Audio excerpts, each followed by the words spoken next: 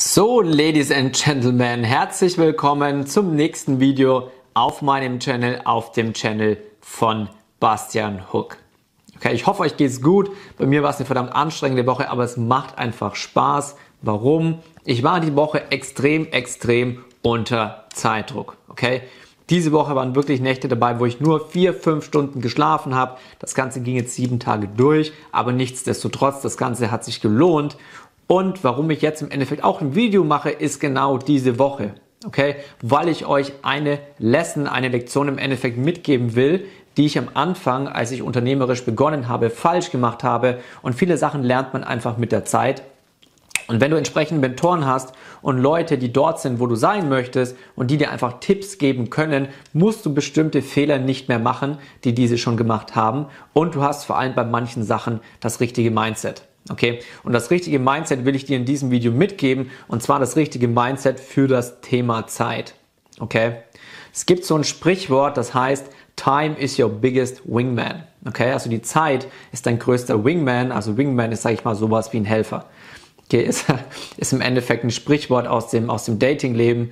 Will ich jetzt nicht zu sehr ähm, drauf eingehen. Nicht, dass mich meine weiblichen E-Commercer in der Shirt Masterclass dafür verurteilen oder sich andere weibliche E-Commercer, die eher nicht Lust auf E-Commerce und auf Print on Demand haben, mich für diesen Spruch hier oder wenn ich da näher ins Detail gehen würde, dafür verurteilen würden.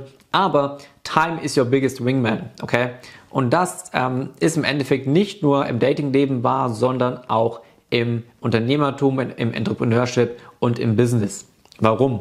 Also bei der Zeit ist es so, die Zeit ist natürlich, ich sag mal, ein zweischneidiges Schwert. Das heißt, auf der einen Seite solltest du absolut den Biss haben, den Ehrgeiz und deine Ziele so gesteckt haben, dass du in möglichst kurzer Zeit möglichst viel erreichen willst, okay?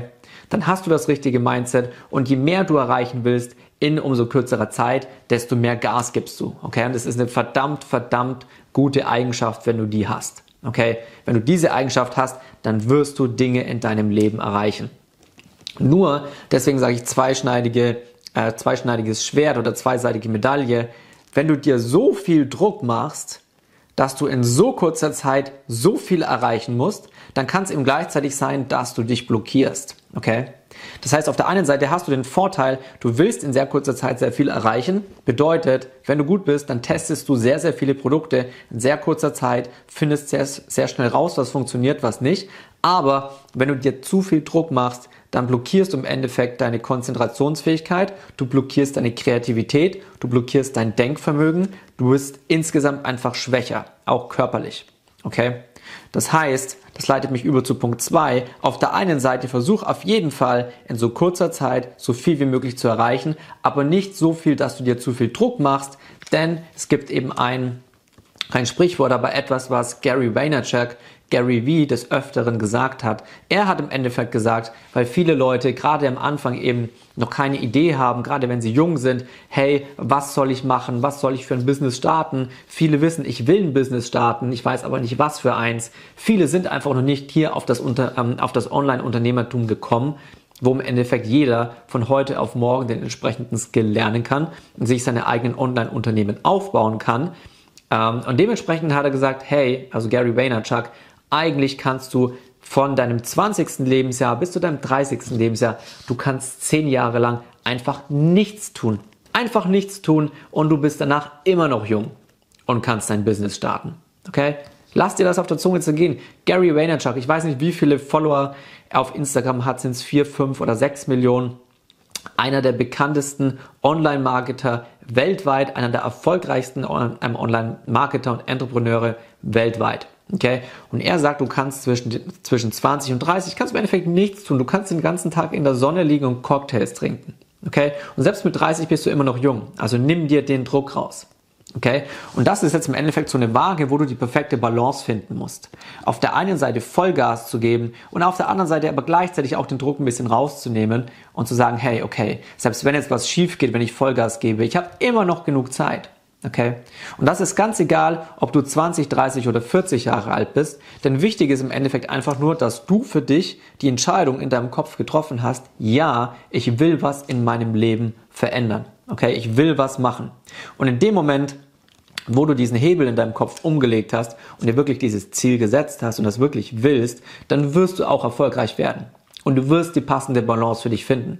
Und dabei musst du eben ganz, ganz viel auf dich selber hören, so blöd das klingt, auch auf dein inneres Gefühl. Okay? Das heißt, du guckst, okay, was stresst mich wie sehr, was stresst mich weniger und find die perfekte Balance zwischen Vollgas und das Auto auch mal wieder ausrollen lassen. Okay? Dritter Punkt, du willst die Zeit, die du für dich nutzt, natürlich so effizient wie möglich nutzen. Okay? Und deswegen der ganz, ganz klare Tipp von mir an dich. Nimm dir, egal ob du Print on Demand machst, was natürlich mein absoluter Vorschlag, mein absoluter Tipp ist, aber egal welches Business du machst, nimm dir einen Mentor. Okay? Es ist schwachsinnig, wenn du drei, vier, fünf Jahre mit Try and Error verbringst, weil du sagst, hey, ich will kein Geld ausgeben, ich will mir das alles alleine beibringen. Okay, fair enough. Aber überleg dir einfach, wenn du fünf Jahre lang ohne Anleitung das Ganze probierst und nach fünf Jahren dann beginnst erfolgreich zu sein, weil du fünf Jahre lang gebraucht hast, um rauszufinden, wie das Ganze funktioniert, versus jemanden, der sich einen Mentor genommen hat, innerhalb von ein, zwei, drei Monaten das perfekt beigebracht hat, was er braucht, um erfolgreich zu sein, dafür ein bisschen Geld in die Hand genommen und in sich selbst investiert hat, denn er hat das Geld nicht zum Fenster rausgeschmissen, sondern er hat es in Wissen investiert und dann beginnt ab dem dritten, äh, ab dem dritten Monat Geld zu machen.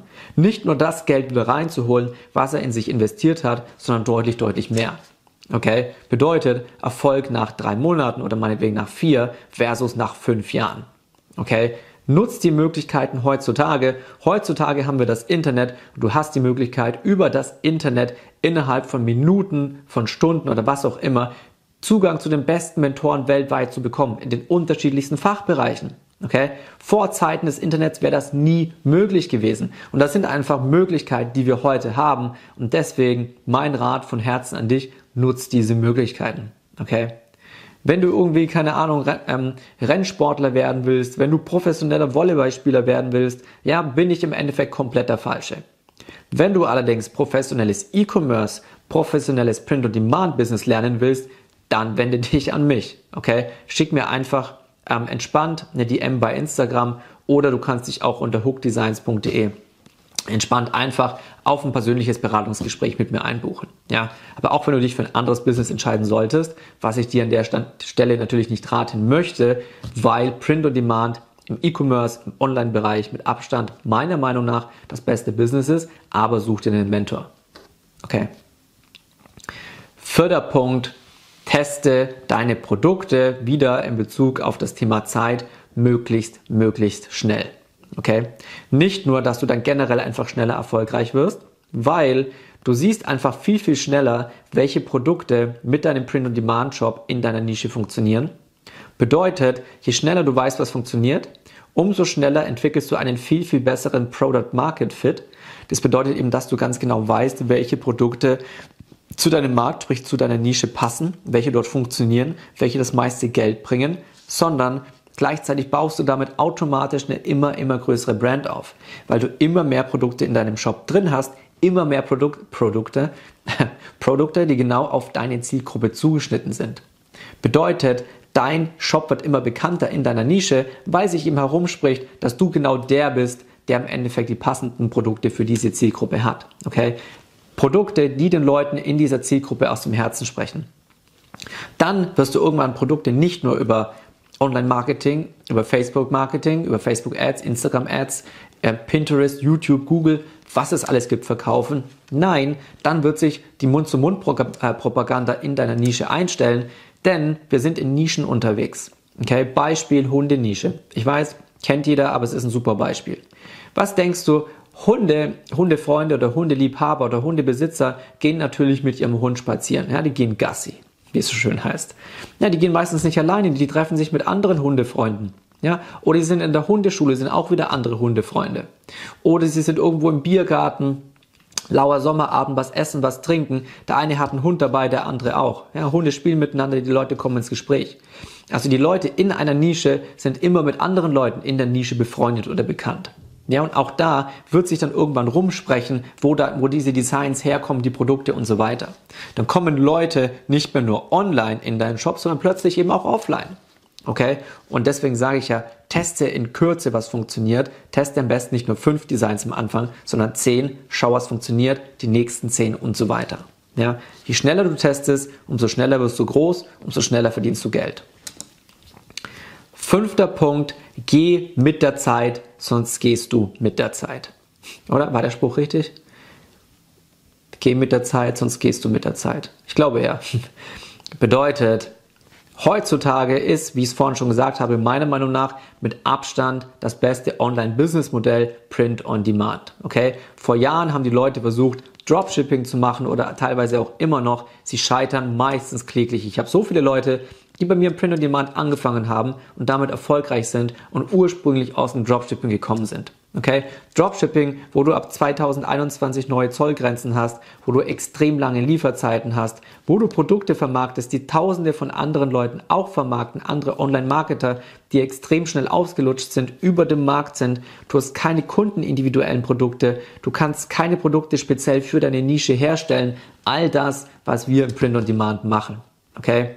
Deswegen mein Hinweis an dich, geh mit der Zeit und dementsprechend Print on Demand ist meiner Meinung nach the way to go. Wenn du dazu mehr wissen willst, schau dir gerne einfach noch ein paar andere Videos auf meinem Channel an. Wenn du irgendwelche Fragen hast, dann schreib sie natürlich gerne in die Kommentare. Ich hoffe, das Video hat dir gefallen. Dann würde ich mich natürlich über den Like auf mein Video sehr, sehr freuen. Abonniere gerne auch meinen Channel und in diesem Sinne würde ich sagen, ich bin raus. Bis zum nächsten Mal.